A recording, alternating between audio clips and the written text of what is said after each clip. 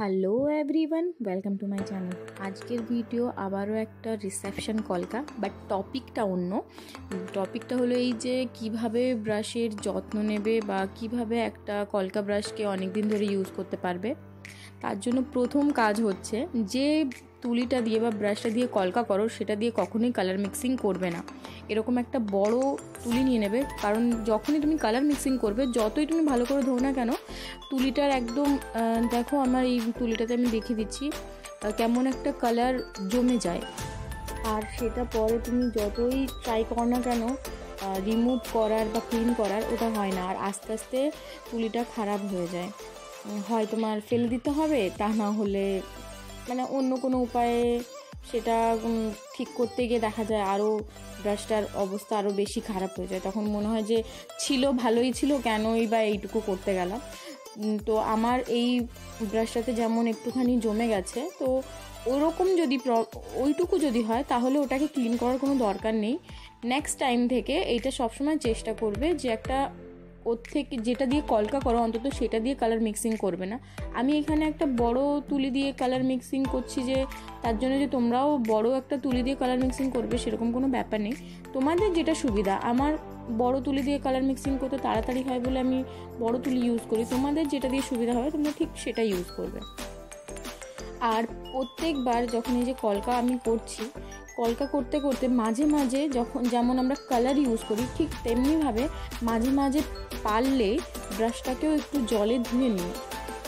তাহলে ব্রাশের কন্ডিশনটা অনেকটাই ভালো থাকে। তুলনামূলকভাবে আরও অনেক দিন বেশি ইউজ করতে পারবে। আর একটু এক্সপেন্সিভ মানে খুব এক্সপেন্সিভ বলব না, একটু ভালো কোয়ালিটির ব্রাশ ইউজ করবে, তাহলে দেখবে সেটা অটোমেটিকলি একটু বেশি দিন স্টে করে নর্মাল তুলির অপেক্ষাতে।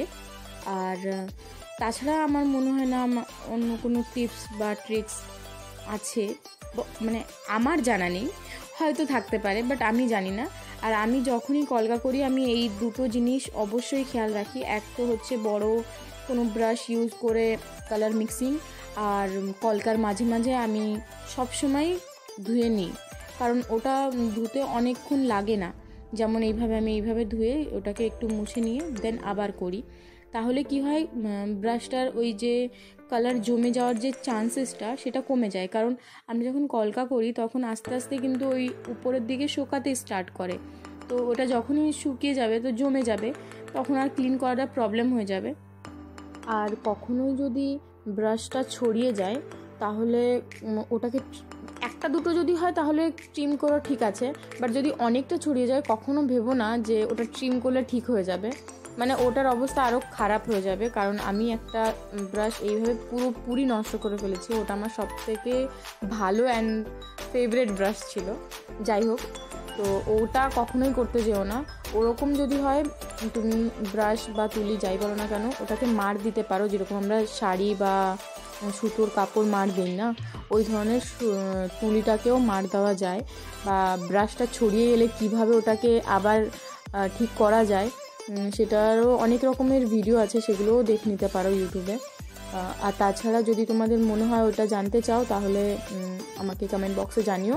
আমি অবশ্যই ওটা নিয়েও আবার একটা ভিডিও আপলোড করার চেষ্টা করব। আর ওই আমি ট্রিম করার ব্যাপার যেটা বলছিলাম, মাঝে মাঝে ব্রাশ ট্রিম করলে কি হয়, যদি ঠিকঠাকভাবে ট্রিমটা না করা হয়, তাহলে ভেতরের দিকে ফাঁপা হয়ে যায় আর সাইডে ব্রিসেলসগুলো থাকে। ব্রেসেলস বলে কি, কী বলে, যাই হোক আমি জানি না, বুঝে নাও কি বলতে চাইছি। তো তখন ওটা মানে কোনো কাজেই লাগে না। আর যদি এত কিছুর পরেও তোমার ব্রাশটা ভালো না হয়, তাহলে ওর মোহ, মায়া ত্যাগ করে দাও। ওটা আর ফিরে আসবে না। তোমাকে নিউ টান কিনে নিতে হবে। তো তাছাড়া আর কোনো উপায় থাকবে না। Thanks for watching the video